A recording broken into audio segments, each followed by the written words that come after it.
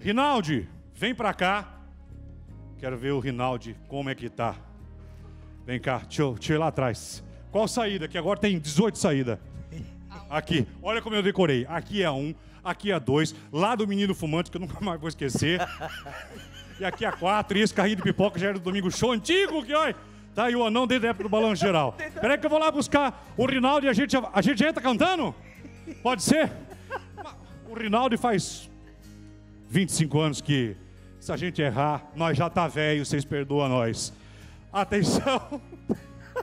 Quero dizer que eu estou muito feliz de te receber aqui.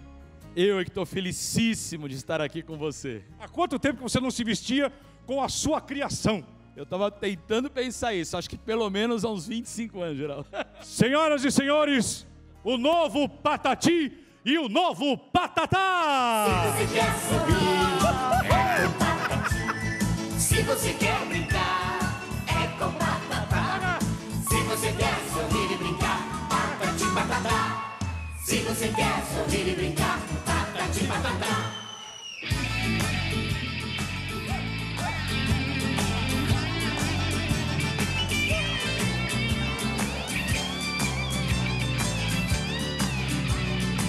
Vamos velho, Rinaldi! Tudo desconjuntado. Olha isso! Uh! Que bonito! Se você quer sorrir, é com patati. Se você quer brincar, é com patatá. Se você quer sorrir e brincar, patati patatá. Olha o auditório! Se você quer sorrir e brincar, patati patatá. Trazendo alegria com muita energia e muita emoção. Sempre na escola com os amigos a brincar. Quero ver você assim cantar. Que bonito! Se você quer sorrir, vocês, vai! Nós estamos velho, Rinaldi! O outro já morreu. Olha, Que bonito! olha o auditório! Lindo! Se você quer brincar,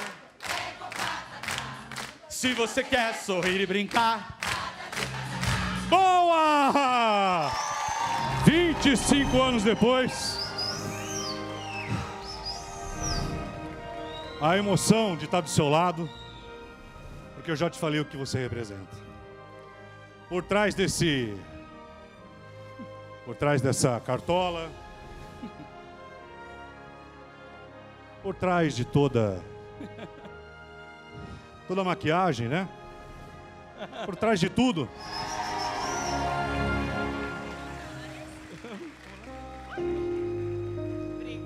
Rinaldi, você criou, depois do Bozo, os palhaços mais amados do Brasil. Tem uma história respeitável.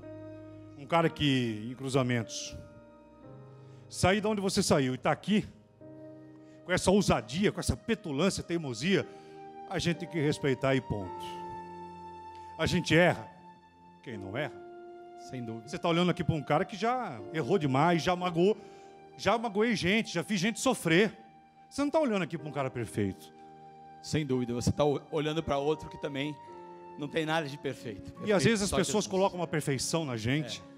Não somos perfeitos. Você está olhando para um cara que erra, que já errou. Erra menos, que a gente vai ficando velho e Deus vai mandando a gente por outros caminhos. É verdade, é verdade.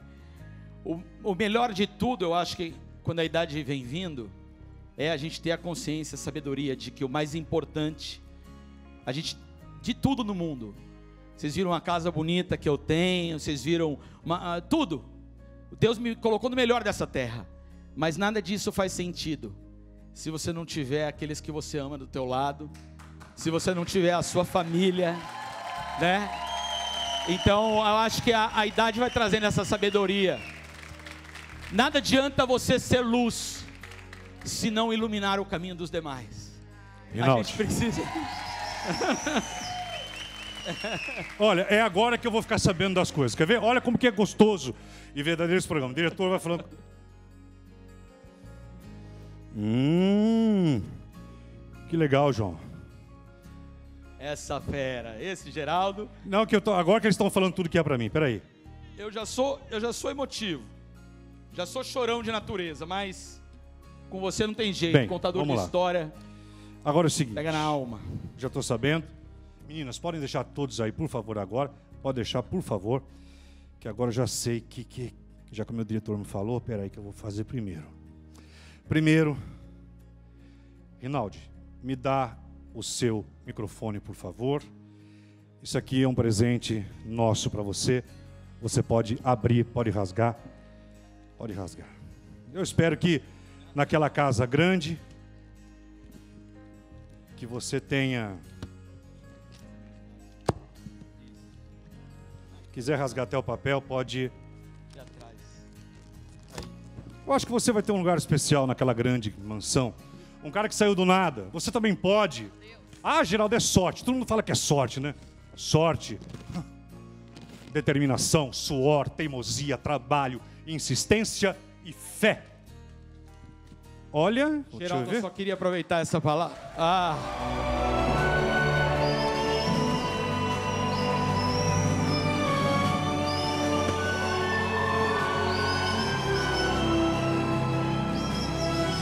A sua avó que deu a caixinha da sabedoria.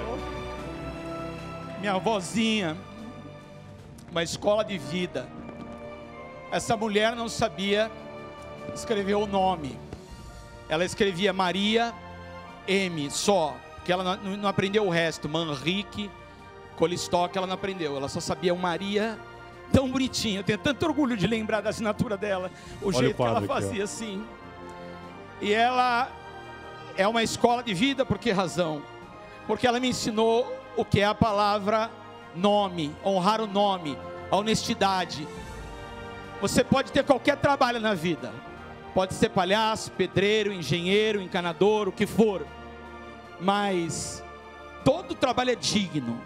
Cada passo que você der, cada, cada atitude que você tomar na vida, tome com orgulho. Se você é doméstica, seja com orgulho. Se é médico, seja com orgulho.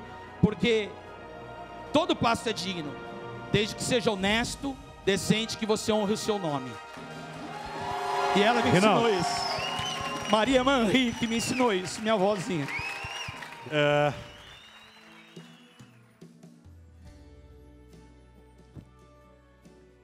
Aqui. Você não vai saber. Reconhece esse palhaço de azul? Pode ser, se você já bateu o olho, De verdade, não. se você reconhecer, pode Não. falar, Geraldo, já sei quem é. Claro, eu falaria, falaria com toda sinceridade, mas não sei quem é. É, assim, Não sei. vou te dar pistas rapidamente. Cavalo, infância, Ah, paz. ah, Lila, filha do seu Chico. Ah, deixa eu ver. Atira a máscara, palhaço. Lila, vem cá, Lila. É, eu dei as pistas e o cara sabe a história dele. Saudade, saudade do teu pai, da tua mãe, né? Vocês, a Lila, o pai dela, seu Chico, vivia pelos bairros lá de São Mateus, ali, né? Toda aquela Verdade. região, Camilópolis, com um chapeuzinho coco, assim, daquele bem nordestino. Ele vivia com a peixeira na. Não era? Isso, com a isso peixeira no- na, na cinta. E eu saía na carroça com ele para vender leite. Era encantado por aquela vida. E o, o seu Chico às vezes falava assim: Lila, traga o café pro homem. Aí a Lila, menininha, vinha trazer um café. Eu achava aquilo de uma humildade, uma E coisa. você tão lembra de tudo isso? Lembro. Seguinte, Rinaldi. É, Nem imagino. eu acho que. Nem imagino quem. Ah, não, impossível. Diante não. de Deus, eu não imagino. Rinaldi, para. Eu falaria na, na hora, não imagino quem seja, nem olhando de perto. Rinaldi, Ô impossível. Lila, bom te ver. Vou te dar a pista. Passado, gratidão, circo, festa, palhaço, a primeira chance. Zigue-zague. Uau! Uau! Deixa eu ver. Eita!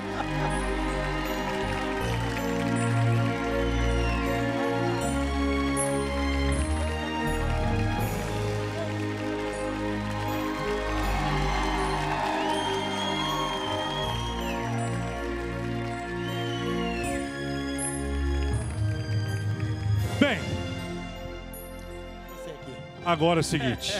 Esse é geral. Eu quero. Zig, fica aí. Eu preciso agora. Rinaldi. Corta a trilha para mim, por favor.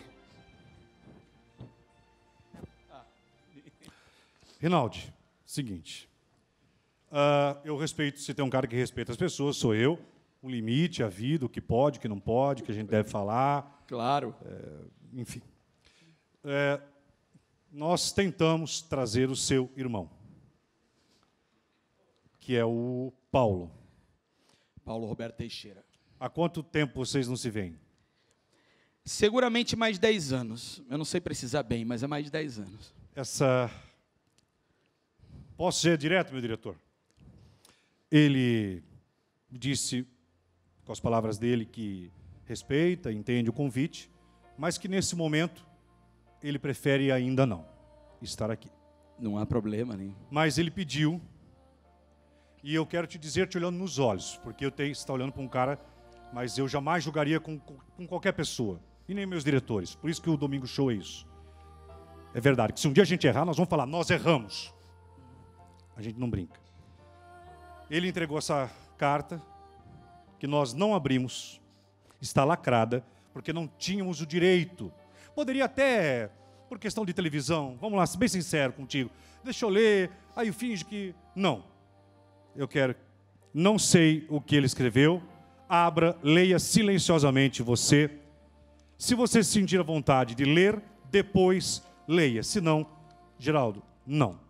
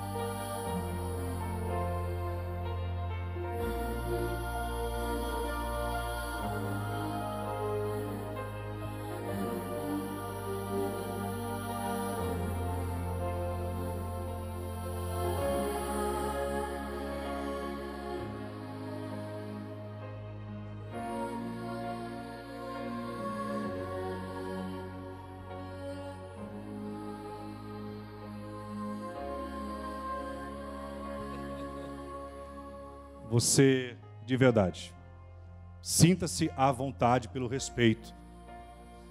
A televisão deixou de ser humana, mas nós aqui não. Quer ler a carta no ar ou não? Quero ler. Oi, Rinaldi. Fiquei muito, muito feliz em saber que você ainda tem carinho pela minha pessoa. Desde a ligação da moça da Record, passou um filme em minha cabeça. Momentos bons e ruins que nem gosto de lembrar. Você me ensinou muitas coisas boas e estou muito grato por isso. Lembra do Fusca Laranja? KKK. Você vendeu sua linha telefônica para me presentear. Lembro até hoje.